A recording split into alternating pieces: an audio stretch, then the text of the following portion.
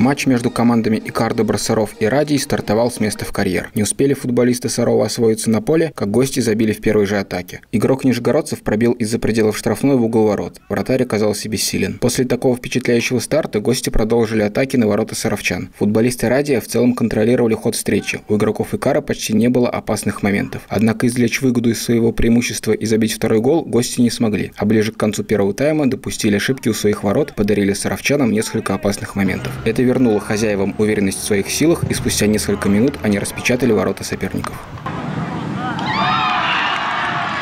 Просто хорошая атака Сарова с забеганием за спину, отдали мяч и уже выход один на один, обвели вратаря там, я не знаю, кто ошибся, но хороший гол. После забитого мяча гости продолжили действовать неуверенно, все так же допуская остроту у своих ворот. В итоге команды ушли на перерыв при равном счете. Стоит отметить, что команда «Радия» делит лидерство в чемпионате с нижегородским «Шахтером», в то время как «Икар» располагается в середине турнирной таблицы, на шестой строчке.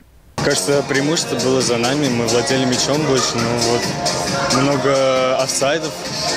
Э, никак мы не могли из-за этого выйти на какие-то голевые действия, больше их создать. И, как следствие, еще пропустили гол. Чтобы не пропускать, нужно владеть мячом самому и самому играть в атаку больше. Начало второго тайма стало для зрителей дежавю. Нижегородцы вновь забили быстрый гол. Матч вполне мог закончиться победой нижегородской команды. Однако за 20 минут до конца счет сравнял лучший бомбардир Икара. Итог – результативная ничья 2-2. Это точное повторение результата первого круга. В мае команды сыграли в Нижнем Новгороде с аналогичным счетом. Никита Белямов, Руслан Лапшин, Кирилл Новикевич, служба новостей, Саров 24.